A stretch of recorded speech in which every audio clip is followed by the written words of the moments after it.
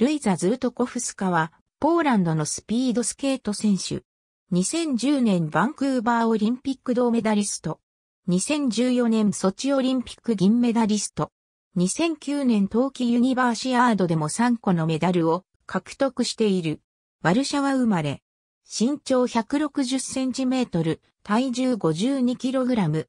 なお、名字のは W の音を表すが、国際スケート連盟にはポーランド語のを L に書き換えたザラトコウスカの名で登録されている。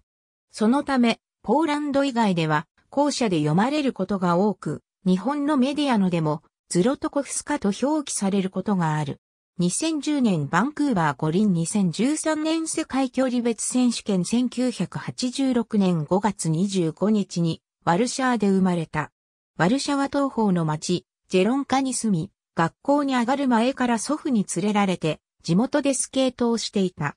しかし本格的なスケートの指導を受けるようになったのは10歳の時、ワルシャワ西方の町ミラノベクのクラブに通うようになってからであった。2000年、14歳の時にさらにスケートの指導を受けるためザコパネに行くことを決め、そこで2005年まで過ごし、その間に多くの大会に参加して経験を積んだ。ザコパネの高校を卒業した後、クラクフ体育大学に進学して、スケートを続け、2006年からは、ポーランドのナショナルチームに所属。それ以降は、ヨーロッパ選手権、ISU ワールドカップ、ユニバーシアードなどの国際大会に出場するようになり、オリンピックを目標に鍛錬を重ねた。そして念願の2010年、彼女にとって初のオリンピック出場となったバンクーバーオリンピックの女子チームパシュートでアメリカチームを下して銅メダルを獲得した。